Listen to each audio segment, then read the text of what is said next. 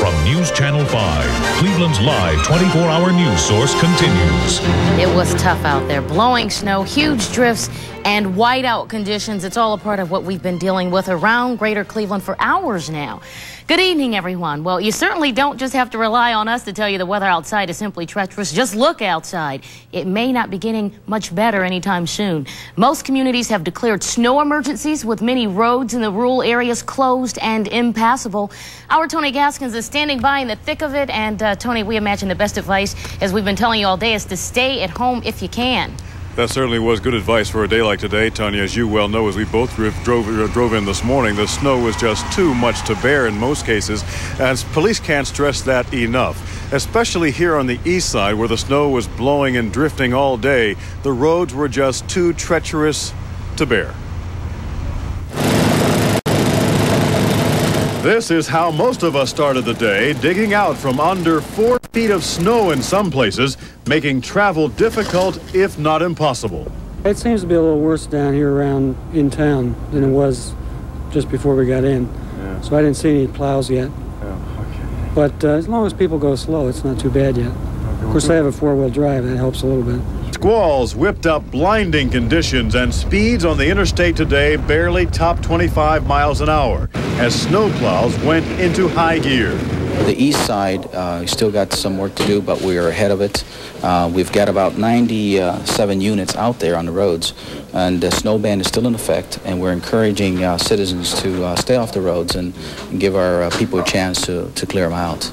Along the eastern shoreway, abandoned vehicles stuck in the snow kept tow trucks busy. Cleveland Police are just taking and giving us the license plate numbers and the locations of the vehicles that they want removed from the shoreway. We're taking and pulling them out, towing them down to our yard. We'll give Cleveland all the information and they can take notify the owner where they can pick up their car. With light holiday traffic, police are reporting relatively few accidents, but nothing really serious. Operations may help you. Snowplow drivers calling for more salt work desperately to stay ahead of the unrelenting snowfall. But in many places, it was simply too much too soon. Continue snowing, we just have to stay here. Continue fighting. We can't stop it from going. All we can do is move it off the street as fast as we possibly can. Many roads were not even fit for walking, but that didn't stop these newspaper carriers who made the best of a difficult situation. And Antonia, the best thing about today's snowstorm is that it fell on a Sunday during the holiday season because traffic on the roads was a lot lighter than you might expect on a weekday. So there is something good about it, huh? Exactly. Well, what about rush hour traffic tomorrow morning? Are the roads going to be clear enough? Because obviously the crews are already pretty loaded up as it is. Yeah, well, the crews are making very good headway right now because the snow, as you can tell, has stopped falling, at least for the time being. It stopped about 4.30, and that was all they really needed was a big break in the weather to get a uh, get on top of the snow. But they think they'll have a uh, much of the snow cleared by tomorrow's rush hour. They don't expect any major problems, uh, but the trucks are rolling, as you can see, and uh, they're hoping for the best for tomorrow morning. Working around the clock. All right. Thanks a lot, Tony. Certainly. We can't stress it enough, and you've just seen it for yourself. The weather outside is frightful. It's horrible. Brad Sussman joins us now to tell us about how much more we can expect.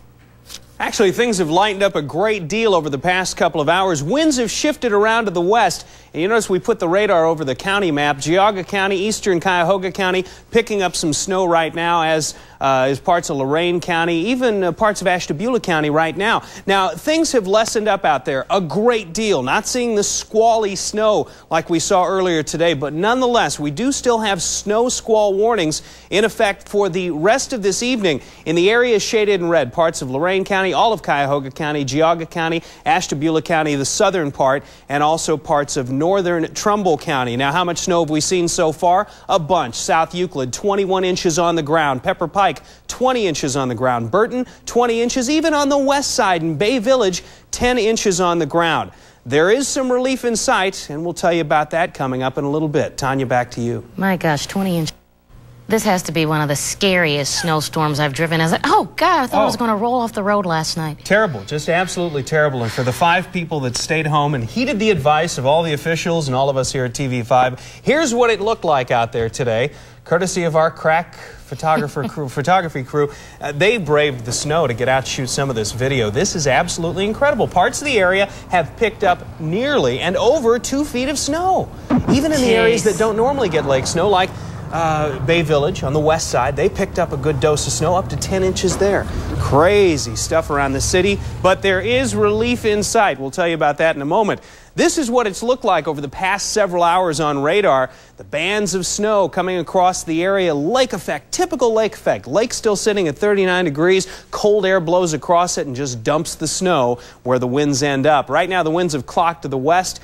Looks like the lake effect snows will be starting to taper off as the evening rolls on. But we still got a couple of good chances of a few squalls. In fact, a squall warning in effect for parts of Lorain, all of Cuyahoga, all of Geauga, southern Ashtabula, and northern Trumbull County through tonight. It's likely by 11 o'clock they might cancel this, but nonetheless, travel still treacherous throughout the area. It wasn't a balmy day by any stretch of the imagination. High of only 15, low today was 8 degrees. We'll be cooler than that tomorrow morning. Our record 64 in 1875, and we've been as cold as 8 below in 1983. Right now, our temperature is 12 degrees, barometer 3013. Wind out, wind out of the west at 8 gives us a wind chill of minus 1. And around the region, no real balmy temperatures. Notice Toledo checking in with 6 degrees right now. They have clearing skies, and when the skies cleared, they lost about 6 degrees of temperature just like that. Parkersburg at 20, a balmy 27 in Huntington right now, and still some areas of snow and flurries around the region. Again, those will be tapering off as the, as the evening rolls through. In the national picture,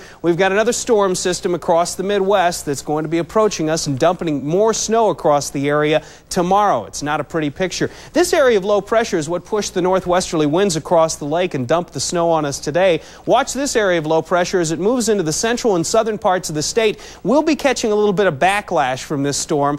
While I don't think it's going to be as heavy, anything on top of the current snow we have is not going to bode well for any kind of traveling. Well, it doesn't look good. But to the west, high pressure is building in. We could see a break in the next couple of days. A break not coming tonight. You saw the areas that are under the squall warnings. We will see a, squ- a few squalls tonight, some flurries too. Northwesterly winds dropping off to 10 to 20 miles an hour. Low temperature, 5 degrees. As for tomorrow, cloudy and cold with scattered flurries, variable winds at 5 to 10, high temperature of about 20 degrees. As for the five day forecast, it looks like this 20 degrees tomorrow with scattered flurries, 26 on Tuesday, Wednesday 25.